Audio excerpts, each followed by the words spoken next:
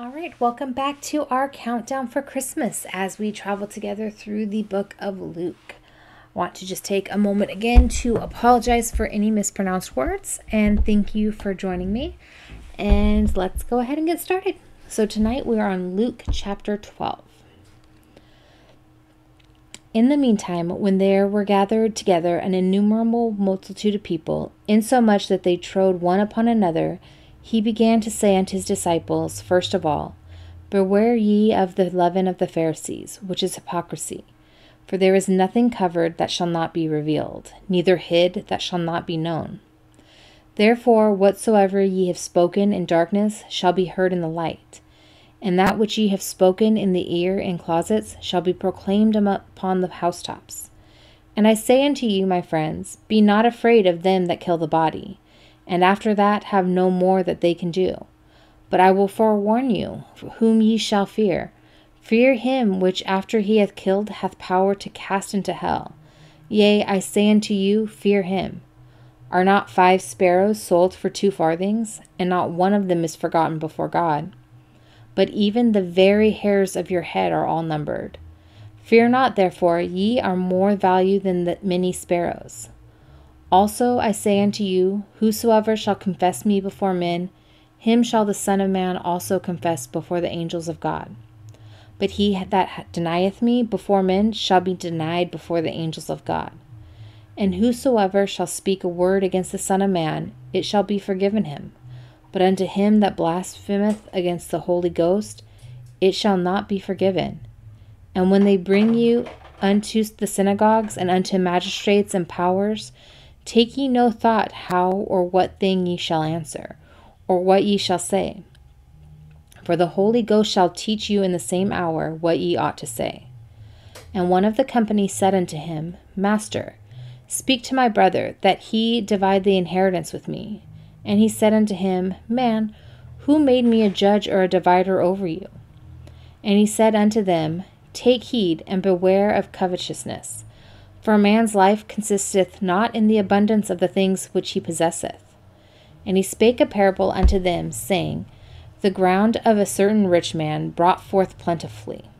And when he thought within himself, saying, What shall I do, because I have no room where to bestow my fruits?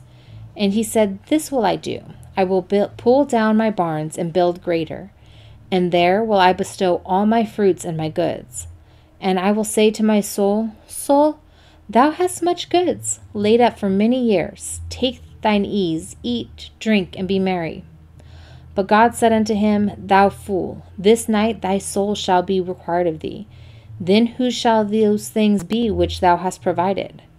So is he that layeth up treasure for himself, and is not rich toward God.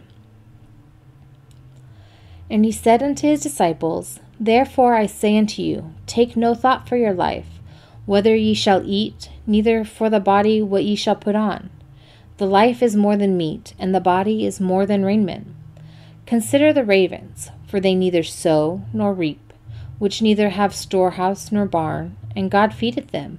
How much more are ye better than the fowls? And which of you, with taking thought, can add to his stature one cubit? If ye then be not able to do that thing which is least, why take ye thought for the rest? Consider the lilies, how they grow. They toil not, they spin not. And yet I say unto you that Solomon in all his glory was not arrayed like one of these. If then God so clothe the grass, which is today in the field, and tomorrow is cast into the oven, how much more will he clothe you, O ye of little faith?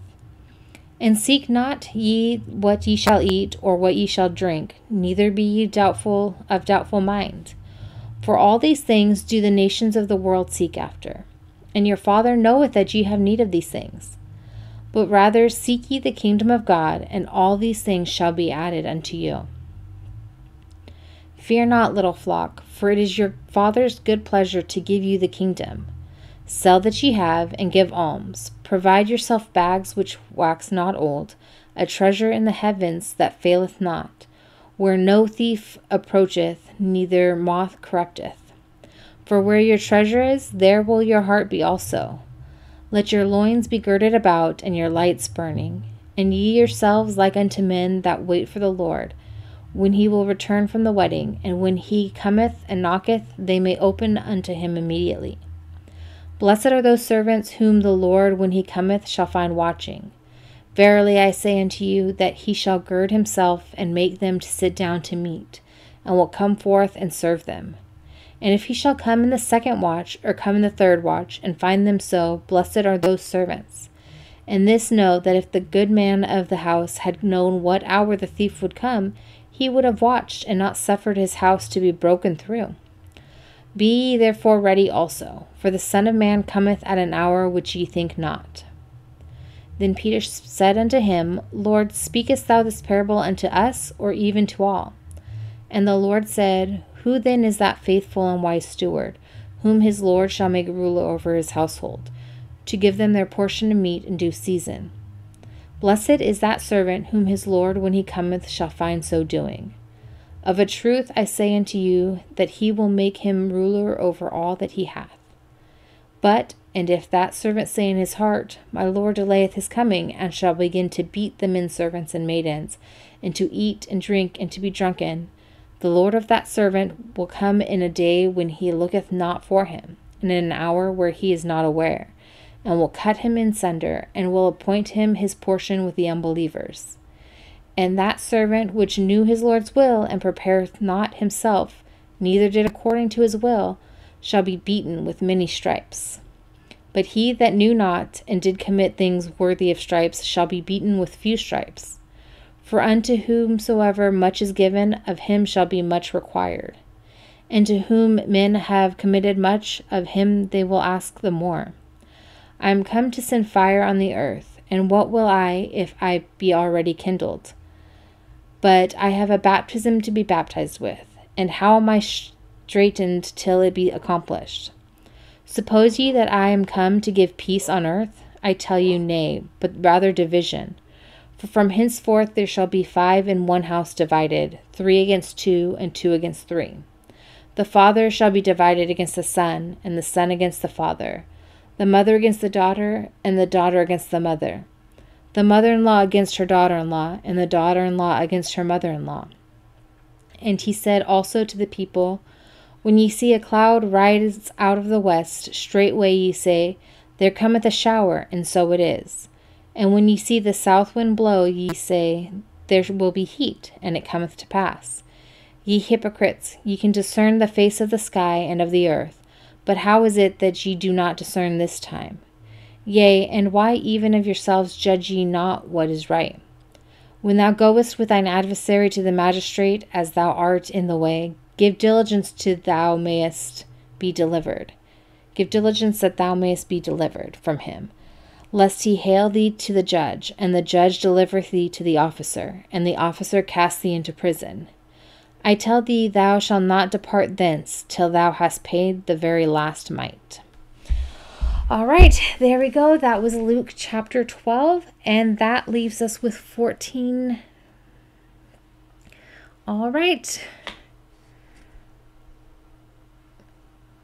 When thou goest with thine adversary to the magistrate, as thou art in the way, give diligence that thou mayest be delivered from him, lest he hale thee to the judge, and the judge deliver thee to the officer, and the officer cast thee into prison. I tell thee, thou shalt not depart thence till thou hast paid the very last mite. All right, well, that was Luke chapter 12, and that leaves us with 13 more days till Christmas. All right, we will see you guys later.